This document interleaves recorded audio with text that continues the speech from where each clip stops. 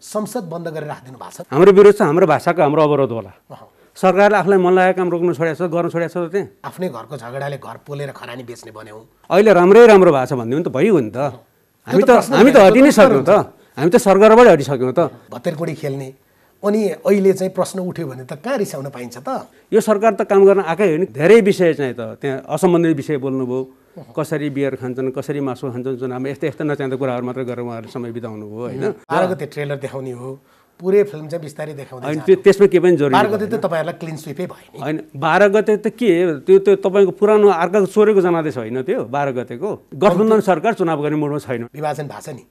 अर्को पार्टी नै बनिएको छ। किन मेरो मुखबाट के भनाउनु खोज्नु भएको पार्टी बनिएको छ नि अर्को।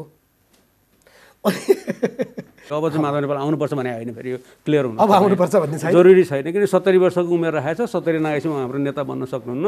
उहाँ नेता नबनिकन अध्यक्ष नबनी बाँच्न नसक्ने मान्छेलाई कसरी डाक्नु र? डाक्नै मिलेन नि। उहाँ बिना एमाले राम्रोसँग चल्छ।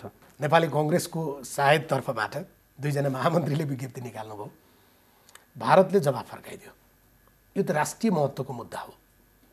यसमा एमाले उपमहासचिवको भनाइ के हो?